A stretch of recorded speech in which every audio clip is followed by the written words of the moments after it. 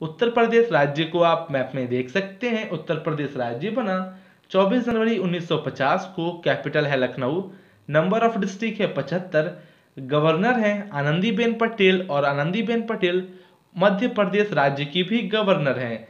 Chief minister हैं Yogi Adityanath, members of the legislative assembly 403 जिसमें exclude होते हैं one Anglo Indian member.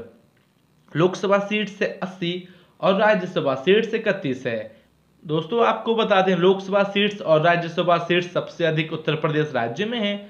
आपके एग्ज़ाम्स में प्रश्न पूछते हैं कि लोकसभा सीट्स किस राज्य में सबसे अधिक है, उत्तर प्रदेश राज्य है।